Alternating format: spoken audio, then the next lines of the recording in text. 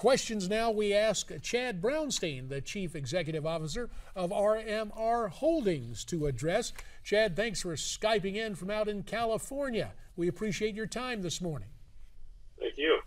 So, Chad, what impact will either the passage or the failure of this legislation have on gas prices at the pump? Well, clearly, it's about time this gets passed. Now that we have a Senate Majority Leader in the end of his tenure who's finally pushing this. We have a State Department report out that it's carbon neutral. This thing needs to get done for the job creation.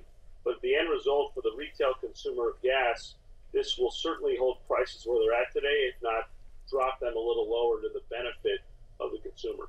So, Chad, are you pretty confident that the Senate is going to pass this? Well, as of last night, uh, last I looked, there were 59 votes on behalf of Landrieu, where there's a, a Democratic tide that's trying to get her elected. I think at the end of the day, you're going to see 60 votes on her behalf. You have a, a very formidable opponent in Cassidy in Louisiana who passed it on the Republican side of the House. So the Dems need all the support they can get. The end result this is a great business decision uh, for the executive branch let's be hopeful that if we do get 60 votes, that it comes to the president's desk and he signs it as it's presented. Now, Chad, there's uh, there, there's an old saying in Washington, a little little rhyme, uh, paralysis by analysis. And, and you just spoke of a state, I believe you said a State Department study about this. Uh, we know EPA, uh, a veritable uh, alphabet soup of acronyms and different agencies examining this.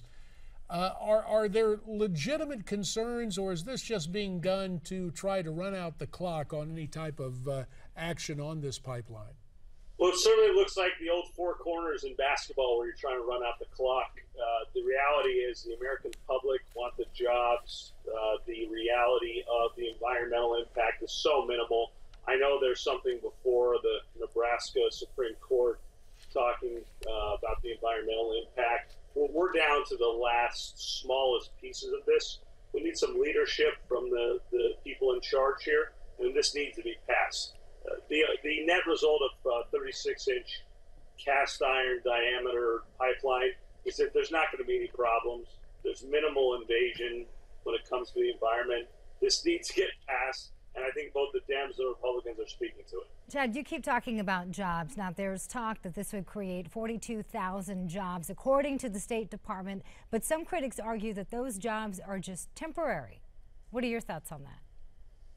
My number actually is much bigger. I, I believe that there could be 42,000 jobs that uh, partake in the construction. But the, the ultimate benefit from this is energy independence in this country, which creates millions. So the tip of the iceberg is the 42,000 jobs, and whether that's a, a passing or a permanent position, we have millions of jobs to create through energy independence, and this is the foundation of getting that done. Chad Brownstein, we're going to let you stay on the job and come back in the days ahead. We'll see if it gets through the Senate and what the president will do if it arrives at his desk. For now, we thank you very much for your time and your perspective on what should happen in the not too distant future. Chad Brownstein, the Chief Executive Officer of RMR Holdings. So do you think the president's going to veto it? Everyone's indicating that he well, will. Well, let's see. He's going to he's going to go ahead and, and try to enact uh, amnesty for illegals without the help of Congress. So it makes perfect sense by his tortured logic that with uh, with Congress both houses supporting the pipeline, he, of course, would have to veto that, right? Mm. And this was the same guy who told us a couple of years ago elections have consequences. Uh, one consequence of the clock, we've got to go away for now, but we'll be back tomorrow. See you at 9 o'clock Eastern, 6 o'clock in the West tomorrow morning. For now, stay brave, stay free, stay tuned.